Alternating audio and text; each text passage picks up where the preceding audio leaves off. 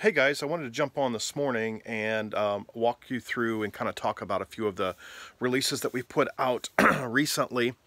So as you can see, I am in one of our many rooms where we have products stored. Um, I've walked around before, but there's tons of our releases here. We have got, if I'll turn this way, we've got CDs galore here. We've got vinyl records. Here we've got vinyl records. All the way down there we've got records back here and there's more. But anyway, let me just go over a few of the stuff. Like we have like lots of other product um, uh, as well. But all right, so I'm spending a lot. I'm making you guys dizzy. Let me just focus in on just a couple things I want to talk about. So first of all, if you did not know, Neon Cross. Neon Cross um, we have um, put both covers, right? So there's the um, Neon Cross, which has a brand new cover. The band wanted a new cover. Uh, a lot of fans wanted the original cover. So inside here, you'll be able to take that um, six panel fold out. You'll just be able to flip it around. Inside has the new cover. But we also put on it the Frontline Life demos. You can see the track listing there. Um, and the California Metal uh, tracks. There was two. There's an album called California Metal. Many of you know of it. Many of you don't. But it was an epic release that came out on Regency. And they had some of the greatest music on there. So it came out like, I think, mid-80s. Uh, mid to late 80s. Uh, but Neon Cross had two songs in there. It's called I Need Your Love and Son of God.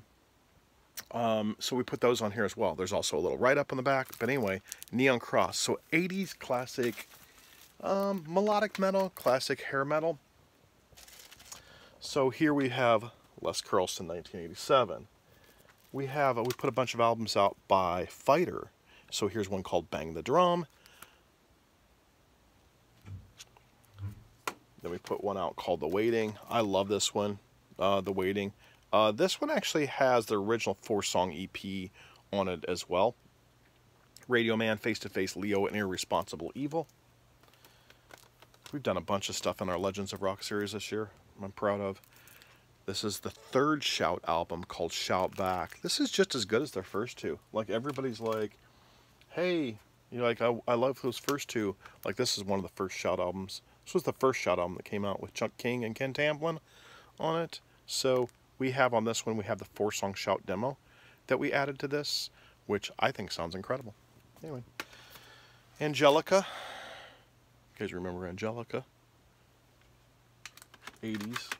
This is the brand new Angelica Without Words. Without Words is Dennis Cameron on guitar.